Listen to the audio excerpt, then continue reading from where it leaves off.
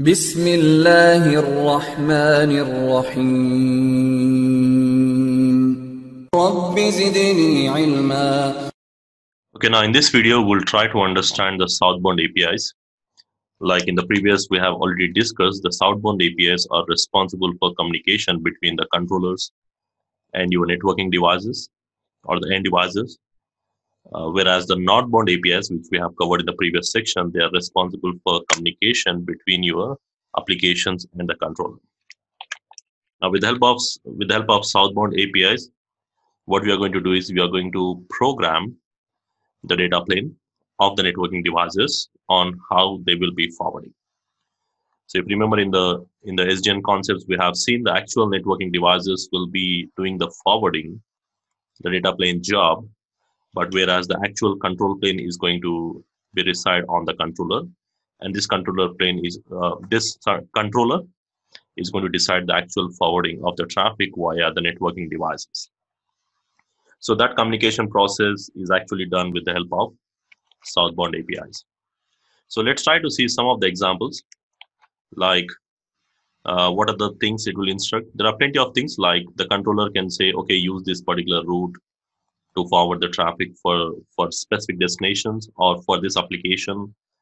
Or the controller can actually send a request to the networking devices saying that, okay, show me the interface status or the device uh, capabilities or or maybe the controller can actually send the instructions like this is the configuration you need to apply on specific devices where it can initiate a CLI SSH connection onto the networking devices or change the best route via routing table or changing the security policies or ACL quality of service. These are all the things includes in that.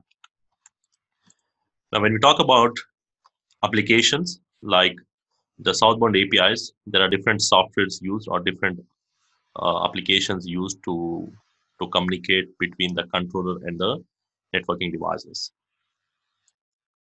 now these applications are the are the apis can be either an open source or the proprietary depending upon which controller you use and what kind of networking devices over there. So i'm going to list some of the examples uh, common common commonly used apis like the commonly used is like ssh and snmp which are already used in network management.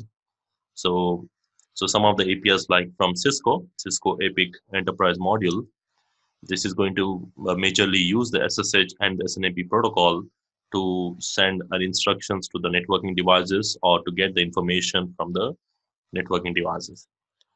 Apart from that there are other other options like there is something called open flow now this open flow is uh, will be using something called open open flow protocol. So this protocol is is is responsible for communication between the controller and your networking devices. Which means whatever the networking devices used here they must support an open flow. They, they must be able to understand the open flow protocol. They must support the open flow open flow protocol in order to talk to the controller. So this open flow is something managed by onf onf stands for open networking foundation it is an organization dedicated to provide some open standards and the sdn adoptions okay so you you might be using this again depends upon the vendors or the devices or the controllers what you're using now, other option is something like you have OpFlex. OpFlex is something from Cisco. Uh, it is totally different from the open flow example, which I have discussed here. So they sound similar, but they are different here. So this is uh, majorly used in a Cisco environment.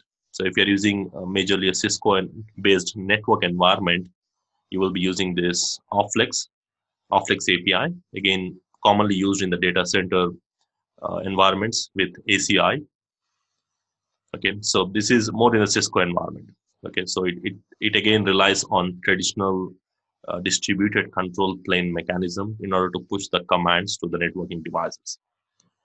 And again here also whatever the devices they must be uh, able to support this OpFlex uh, protocol or they, they must be able to understand and support the OpFlex protocol on the networking devices so that they can talk to the controller. Now, again, if you are using uh, something called software defined access from Cisco for managing the Cisco uh, major uh, LAN infrastructure or network infrastructure with Cisco SDA option, you will be using again SSH with a command line and SNMP protocol to gather the information or to push some specific commands. Additionally, you'll be using something called netconf. Netconf stands for Network Configuration Protocol. So I'll quickly give an, a brief overview on this. So Net, NetConf uh, stands for, as I said, Network Configuration Protocol. It is an IETF standard, so defined in these specific RFCs. And this NetConf protocol is responsible for communication between the networking devices. So specifically, it is responsible for installing the installing the uh, installing the configurations, we can say, or modifying the configurations, or requesting some information from the networking devices, or deleting the information or the configuration onto the networking devices.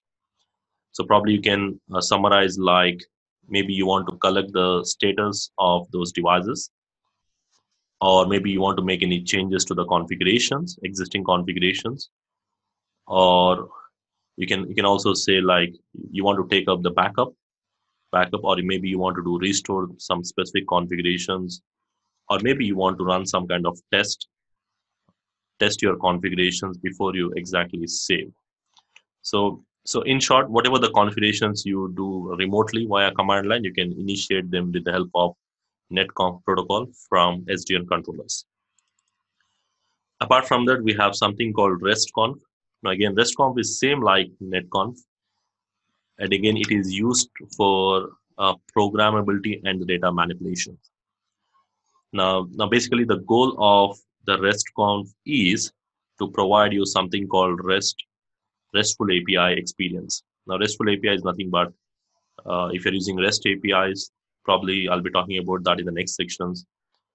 So, it is going to provide you something called RESTful API experience. So, it still uses the netconf for data abstraction as well as for data manipulations and most likely the data format will be in either xml or json formats. Json is kind of javascript format okay? So it is mainly used uh, for defining some data storage concepts a little bit. So these are some of the examples of the southbound apis now typically you might be running any one of this so as this is like a common topic not specific to cisco so you may see any one of these apis or maybe multiple apis used in different vendor environments